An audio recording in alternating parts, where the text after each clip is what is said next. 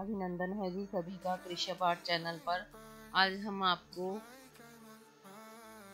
पत्तियों और फूलों वाला डिज़ाइन बनाना बताएँगे, जिसमें हमने सिंपल पत्तियाँ बनाई हैं सेप ग्रीन और जो है इंडियन रेड से। आप हल्का से इंडियन रेड भी ले सकते हैं सेप ग्रीन के साथ और उससे पत्तियाँ बना सकते हैं। इसी तरह से हमने फूल बनाए हैं। पहले हमने सिंपल फिल किया है फूलों में। उसके बाद हमने उसी कलर से थोड़ा डार्क लेके कलर उससे की है। और ये कलर आपने ज़्यादा पतला नहीं लेना ताकि हमारी शेडिंग अच्छी तरह से आए। और इस तरह से हमने सारा जो फूलों है, फूलों की जो शेडिंग है, वो कर देनी है।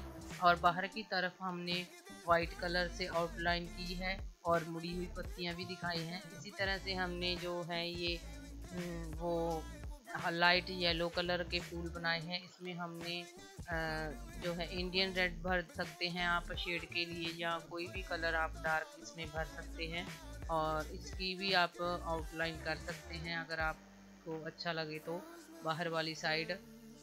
और इसी तरह से हमने सिंपल पत्तियाँ बना ली हैं और जो फूलों की और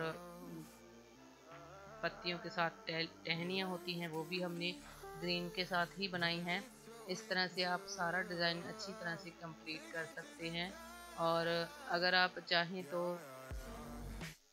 जो है इसमें गोल्डन कलर की पत्तियों में वो थ्री भी इस्तेमाल कर सकते हैं रेशे बनाने के लिए। इसी तरह से हमने सारी जो फूल हैं, उसकी शेडिंग की है, जैसे आप वीडियो में देख रहे हैं।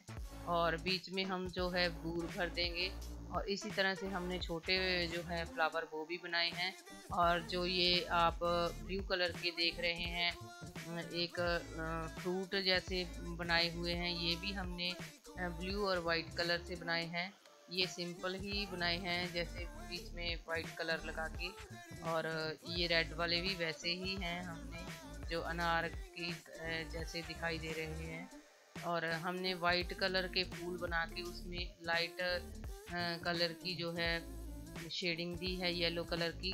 इसी तरह से हमने सारे जो हैं फूल में शेडिंग देनी है, और बीच में हम इसके बूर भर देंगे, और हमारा जो डिज़ाइन है वो अच्छी तरह से कंप्लीट कर लेंगे हम।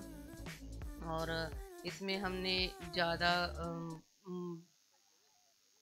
यानी कि मोटा कलर नहीं लगाना है थोड़ा सा आप पतला कलर करके लगाएँगे तो अच्छी तरह से आप सफ़ाई के साथ।